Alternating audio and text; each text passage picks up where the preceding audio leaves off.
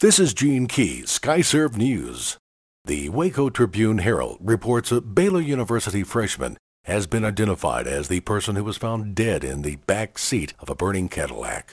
McLennan County Sheriff's Chief Deputy Randy Plemons said Friday that dental records have confirmed that 18 year old William Patterson was the person found Thursday morning in the vehicle.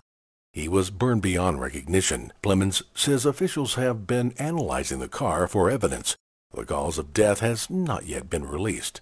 Patterson, who graduated last year from Churchill High School in San Antonio, was studying film and digital media at Baylor. A spokeswoman for the Northeast Independent School District says Patterson was known as a popular football player and an Eagle Scout. WFAA.com reports Dallas firefighters are still trying to determine what started the three alarm fire at an East Dallas strip mall the flame sent customers and employees scrambling into the parking lot on a frigid Friday, just after 8 a.m. Fire investigators say the flames started inside the business stereo zone just minutes after it had opened for business in the 2700 block of South Buckner Boulevard. Firefighters said no one was hurt, but four businesses have been damaged.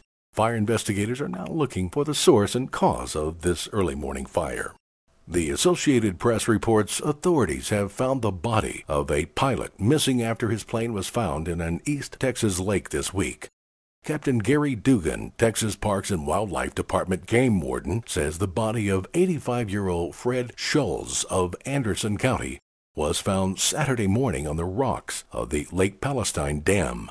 Schulz was reported missing Wednesday after taking off earlier in the day in his single engine plane from Jacksonville. Dive crews found the plane in Lake Palestine, located just outside of Tyler, on Thursday morning. Department of Public Safety said all indications are the pilot landed the plane in the water without severely damaging the aircraft and was able to open the window. If you'd like the latest Texas news on your mobile device, you can follow on YouTube. Simply search SkyServe News or Gene Key. You can also follow me on Facebook or Twitter. This is Gene Key, SkyServe News.